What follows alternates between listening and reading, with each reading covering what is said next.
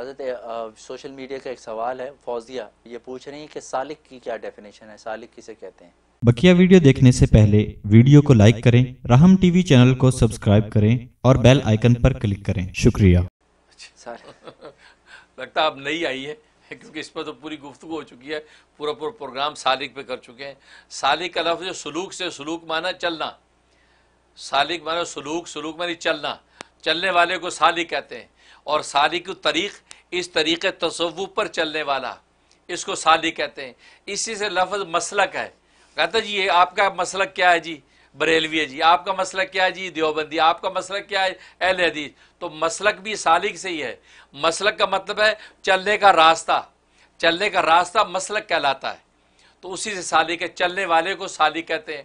اور تصوف کے راستے پہ چلنے والا سالک کو تصوف ہو جاتا ہے۔ تو یہ ہے سالک۔ اب یہ سالک سلوک کے راستے پہ چلتا ہے، ولایت کے راستے پہ چلتا ہے اور پھر جو اس کے اصول و قواعد ہیں، وہ چلتا کیسے ہے؟ وہ اپنے پیر و مرشد کی رہبری میں چلتا ہے۔ گویا کہ اس، گویا اس راستے پہ چلنے والی جو گاڑی ہے، اس کا ڈرائیور جو ہے، وہ پیر و مرشد ہوتا ہے۔ اس کے پیچھے مریدین بیٹھے ہیں سارے۔